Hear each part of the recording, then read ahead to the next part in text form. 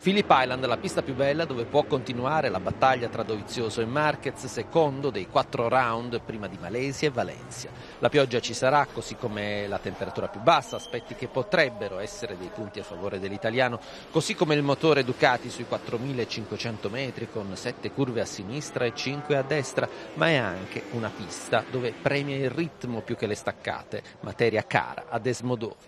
La conferenza stampa del giovedì ci consegna anche un Marquez che ha ammette di aver considerato, anche quando bisogna essere più strategici per avere la meglio su un pilota freddo, lucido, che ragiona a 300 km all'ora, che sa quando può lanciarsi in un corpo a corpo che può rivelarsi anche vincente, come il sorpasso all'ultima curva sulla pista di Motegi, consapevole dei suoi mezzi.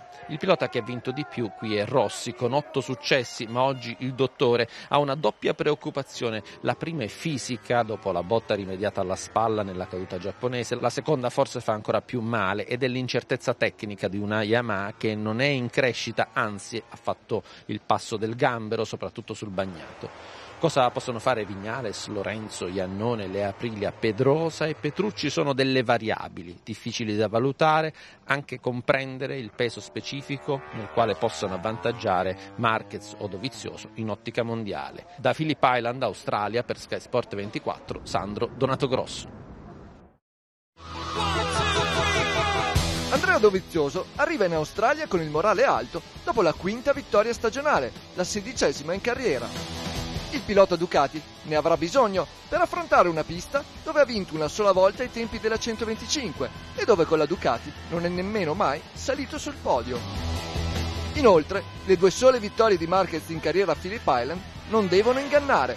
Lo spagnolo in MotoGP è arrivato primo nel 2015, ma anche nel 2014 e l'anno scorso è caduto quando era in testa con buon margine. Gli 11 punti di distacco che Desmond Ovi ha sullo spagnolo sono quindi un handicap sensibile sia per il fatto che delle tre gare rimaste due si corrono su piste favorevoli alla Honda e a Marquez, ma anche per lo svantaggio in sé. Dei 15 titoli MotoGP assegnati infatti fino ad oggi, 8 sono stati decisi nelle ultime tre gare. Di questi precedenti però, solo due inseguitori sono riusciti a recuperare lo svantaggio in un lasso di tempo così breve. Lorenzo nel 2015 e Hayden nel 2006. Anche la storia insomma è un avversario in più per Dovizioso, che dovrà provare a battere sia Market che le statistiche per laurearsi campione. Per Sky Sport 24, Guido Sassi. Valentino, allora, eh, co- come stai con, eh, con, con, la spalla? Sei, sei sofferente oppure sei a posto, ce la fai? Sto un po' male, sono abbastanza sofferente, mi dà, mi dà un po' fastidio, però sembra che comunque mm, non, non, ho rotto niente, che è molto importante, però mi fa un po' male, quindi spero domani mattina mh, che non mi dia troppo fastidio mentre guido. Arriviamo in questo Gran Premio in, in un momento un po' difficile tecnicamente perché stiamo, stiamo soffrendo, quindi bisognerà mantenere la calma e, e cercare di capire e cercare di essere, di essere più competitivi rispetto a Motegi.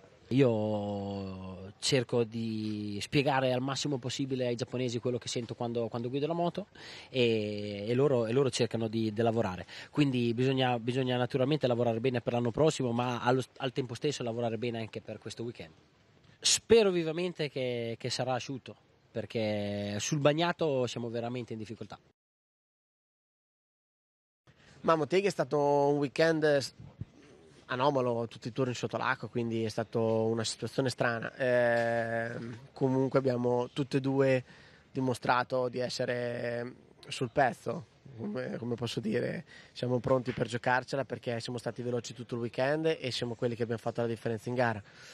Però a parte questo adesso bisogna vedere che condizioni troveremo qui a Phillip Island, che il meteo comunque condiziona tanto le prove il weekend. È una pista molto diversa, molto non facile però, e sappiamo che Marquez è molto veloce, però eh, secondo me in questo momento noi siamo veloci, siamo competitivi e dobbiamo cercare di approcciarla come abbiamo fatto le ultime gare perché fa la differenza riuscire a partire tranquilli, lavorare bene e arrivare pronti in gara. Mm, dobbiamo vedere le condizioni che troveremo, però credo che saremo più competitivi del passato. La pressione la senti perché ci tieni e, e l'obiettivo è quello, però sì è vero che questo ti fa approcciare il weekend in un modo un po' più rilassato e questo secondo me è la realtà ed è come deve essere e può aiutare solo a noi nel, nel, nel cercare di, di essere più a posto possibili e analizzare tutto quello che succede in un, in un, modo più rilassato. Siamo tirati, si parla di piccoli dettagli, quindi anche questo può fare la differenza. Ogni circuito è diverso e qua ci possiamo trovare una condizione di asciutto o anche di condizione miste, non di bagnato completamente come era, come era il caso di pioggia fortissima. Eh, il peccato del Moteghi è che abbiamo fatto 4-5 allenamenti con pioggia non leggera, però non, non tantissima, ma la gara ha, ha caíto un, un, aguacero incredibile e con queste condizioni magari il nostro setting non era l'adeguato e anche io non, non ho guidato con la stessa confidenza che, che con meno acqua. Quello è stato il problema, però qua sembra che domani sarà asciutto, sabato non si sa, eh, domenica non si sa, però può essere... No, non penso che sarà l'acqua di, di Moteghi. Andrea Dovizioso gioca per il Mondiale. Secondo te, da, come se non fossi coinvolto no? e, e non, non, lo sei, che cosa deve fare in più per poter battere un talento come Mark Marquez, secondo te? Lui, secondo me, deve provare a fare lo, lo stesso che adesso, che sta facendo sta togliendo il massimo di punti sempre, senza sbagliare, sempre attaccando nel momento giusto, conservando e essendo intelligente quando non si può attaccare. Questo lo sta facendo alla perfezione, solo che Marquez è molto veloce, molto esplosivo e sempre va molto forte. Eh, però per una parte Marquez magari tiene un po' più di esplosività, di velocità, però Dobby mai sbaglia e, e quasi mai cade. Eh, quella è la sua principale basa, baza e che dopo è molto intelligente sulla moto le, le forze sono molto ugualate, però sarà interessante vedere chi, chi può vincere.